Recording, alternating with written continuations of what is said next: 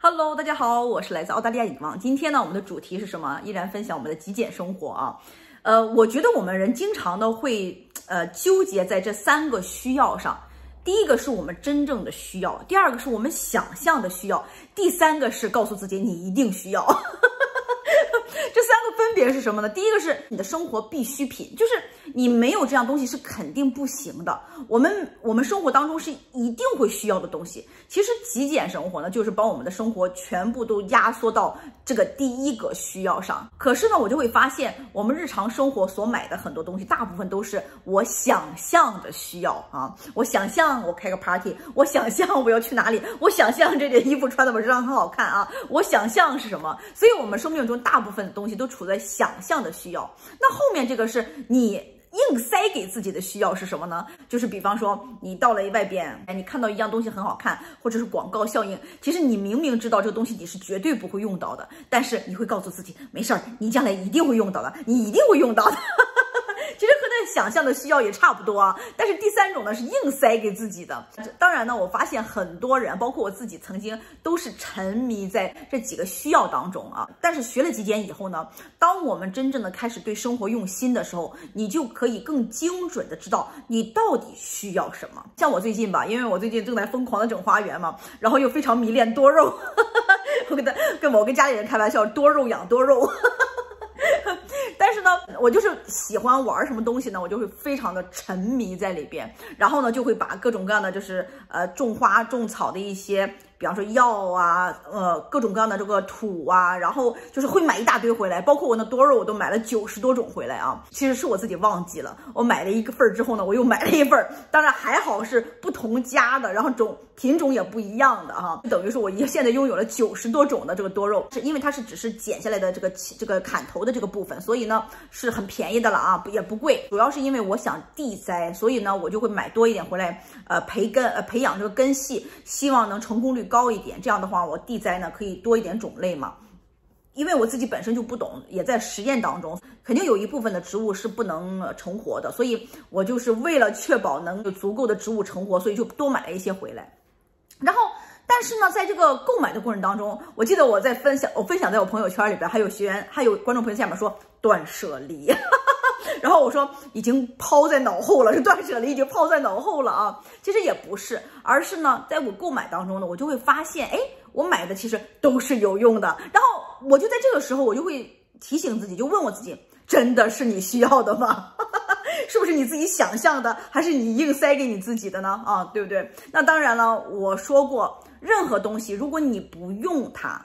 你买回来只是放在那里，那你就是根本就是不需要的，对不对？多余的，对不对？可是大家也看到了，我上个星期、大上个星期，我非常努力的整我花园，我真正的付出了我的劳动和体力去在整理我的花园，而且我内心是下定决心的，我一定一定要做好我的花园，并且这一次呢。不像是以前了，我以前是做好之后就帮不关我事儿了。我这个人是玩东西呢，是玩一次玩够了就扔了，就不管了。但是现在呢，我所想象的是，我真的是想要把我这个花园打造起来，并且维护养护它们，一直变得就是变得越来越漂亮。这是我真正下定的决心。因为我们人生的每一个时间段，你都会对自己各个方面有一定的要求。而我现在的整花园。前段是前一段时间是整理家，所以我在拍视频，是不是做极简？现在的家里边清的差不多了，我就开始转向外边了。那我的花园呢，就把它全身心的整呃呃铺在这个花园上。我记得我刚搬来这个家的时候，我是用了十个月的时间去打造我的花园，但是后来因为做生意忙了嘛，就没有时间打理了，所以就荒废了。那现在呢，不管怎么样，我是不用上班的，所以我会有更多的时间在家里边。那我现在就会。那我这次真的下定决心，决定把花园打造起来以后，然后真的是很用心的去维护它。当然，我的邻居是功不可没的啊，他给我做了一个非常好的榜样，所以我决定真的要去做。那通过这个点呢，我就反过来审视我自己。OK，既然你决定了去创造这样的梦想的一个生活，那你买的这些东西，它是不是都是必须的？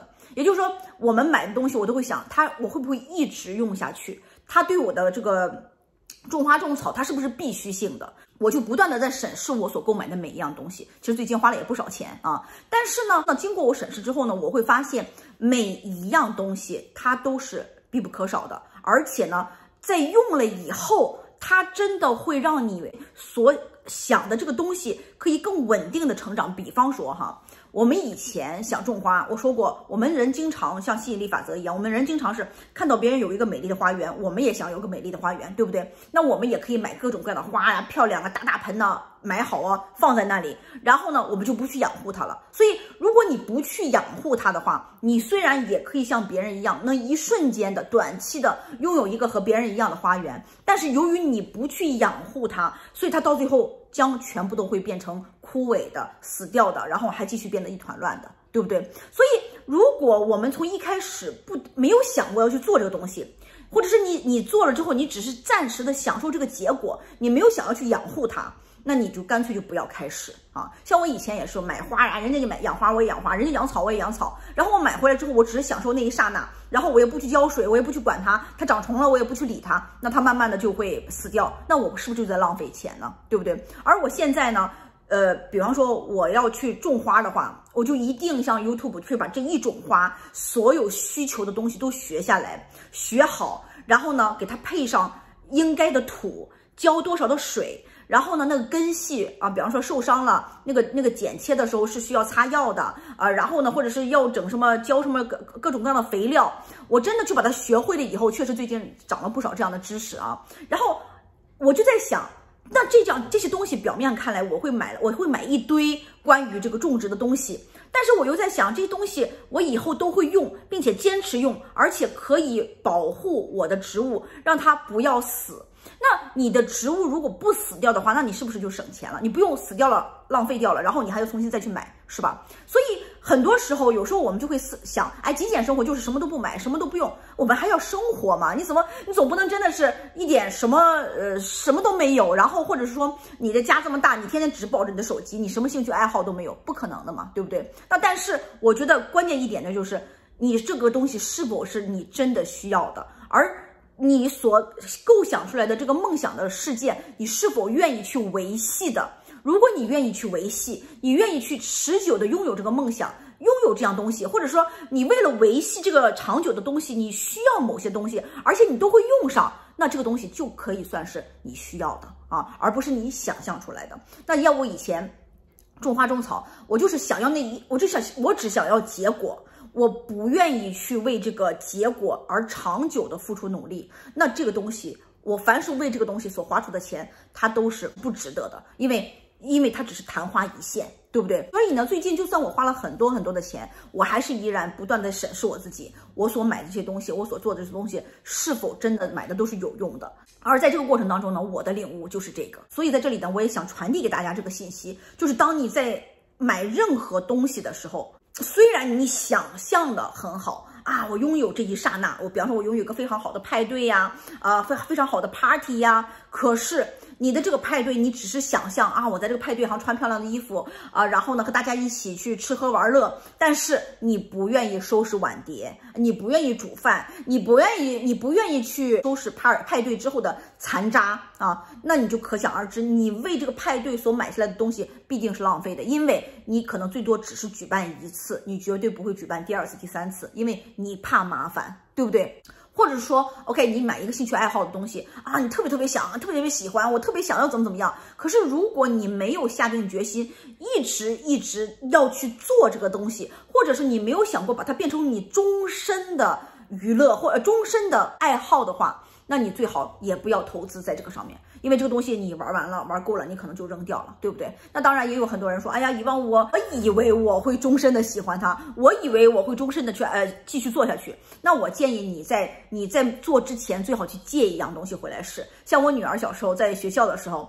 老师就会说啊，怎么样看小孩子喜欢什么样的呃乐器呀？那如果孩子要报什么小提琴班呢？老师呢就可以租一个小提琴给他，他就回来练。如果他喜欢的话呢，他就继续学；如果不喜欢呢，就可以还回学校。所以我觉得这是一个好的方式。如果你对某些东西感兴趣的话，你先暂时不要去买，而是跟你朋友，如果他有谁有这样的兴趣爱好的，你可以借回来做一做，然后看看自己是否真的喜欢。因为一件兴趣爱好呢，你当你做的时候，你才能真正的体会到它给你带来的好处和坏处是什么。例如我现在养花养草。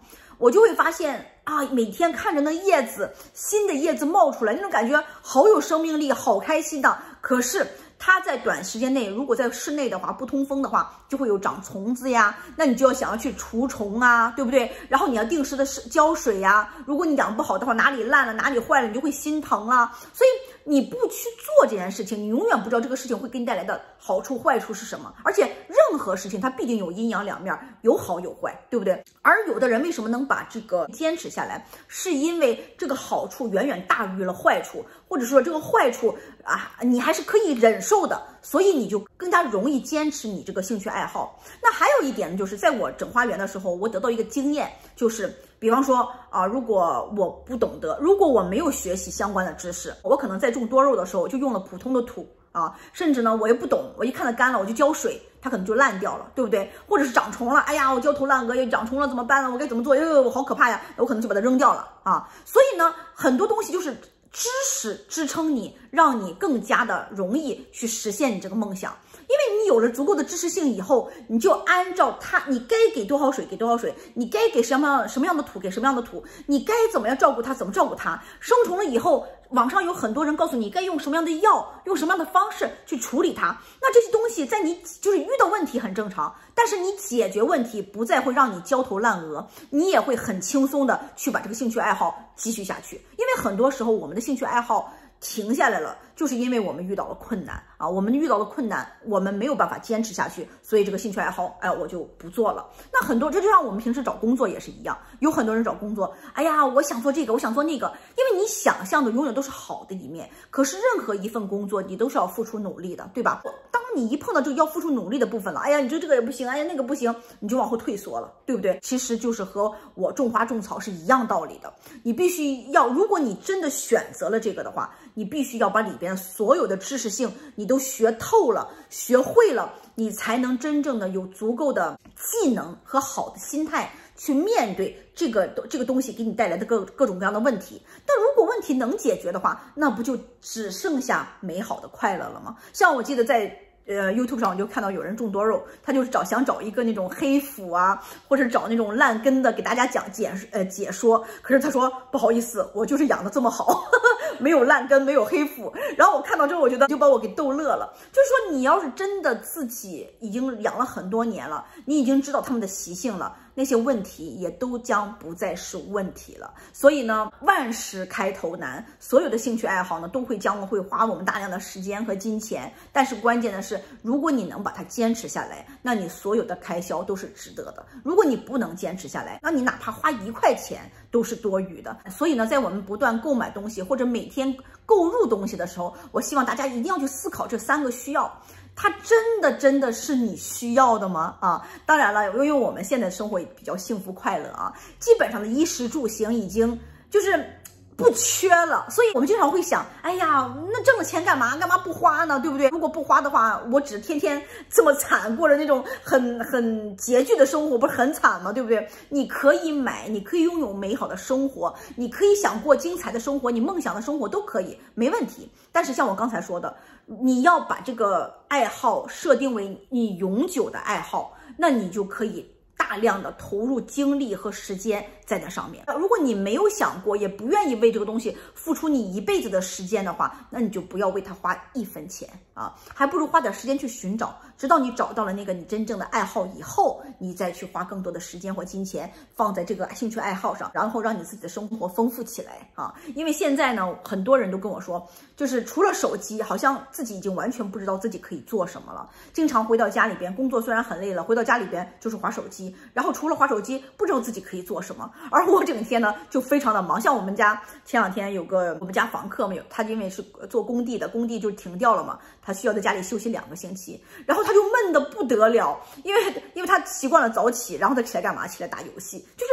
一天到晚没有事情做，不知道自己该做什么。但是我可以理解，因为他天天都要上班，他也没有时间去培养兴趣爱好，所以难得停两个星期，然后就觉得自己很无聊。所以兴趣爱好也是要靠自己去培养的，也是要靠你去寻找的。你自己如果长期在家的话，你在家如何能找到适合你的生活模式也是需要去寻找的。像我在家里已经好多年了，我已经习惯了 每天跑上跑下，跑上跑下，又什么做辅导呀，又讲课，又拍视频呢，哎，可忙了。最近呢，整花园整的我简直是废寝忘食啊！但是我非常的开心，非常的快乐，对不对？所以我们的做极简的真正目的就是为的就是让我们的生活、时间、金钱、精力全部都集中在那些真正对我们有益的事物上，而不是去浪费在一些嗯没有意识的一些物品上。所以。购买不是问题，花钱也不是问题，但是一定要思考过以后再去下单，不要像我一样下完了又忘忘了再下一个。